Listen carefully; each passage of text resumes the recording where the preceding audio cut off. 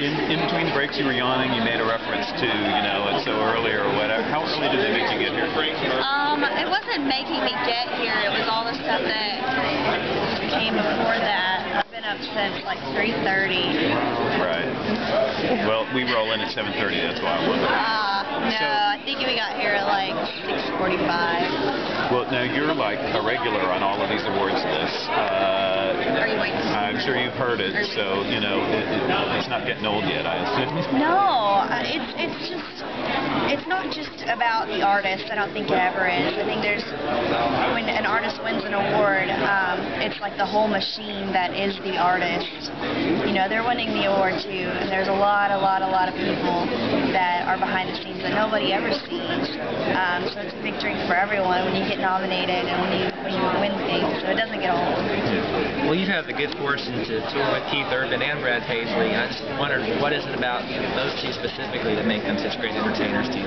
Um, I think it starts first with the people themselves. Um, Brad is wonderful. Keith is a pleasure to be around. Um, and, and I think people know that. You can sense that about people when you're around them. And when you see them on stage and things like that, I mean, those guys are just entertainers. They know what they're doing. They're both wonderful musicians and singers and writers, and they got it all. Well, so you're sitting by Brad. He's entertaining, just sitting there. Right. He's a funny guy. Yeah. Funny guy. Nice guy. Kenny Chesney is the top nominee this year. I, I wonder if you have some thoughts about, you know, why he's able to keep doing this and, you know, what you, Um, see in people him. love him. Point blank. People buy his albums. People go see him in concert. I think that's a big one. Um, I mean, he's able to do huge concerts with lots of people, and uh, people love him. Yeah. Do you have a sense of why they love him? Though? What is it that makes them connect to him? Um, I mean, he's been doing it for a long time. You know, if you look back at his career for his first single, it's, his career's like as old as I am. You know, so um, I mean, he's been doing it for a long time, and and I guess practice makes perfect. You know. One more, you guys.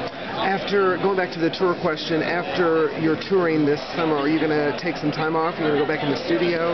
Um, I think this year is going to be pretty much about touring, maybe some studio stuff. Um, we've just started talking about some, I don't know, different kinds of things, but everything's in discussion. Um, it, it's a, a busy year. I'm thinking next year will be a little, a little more.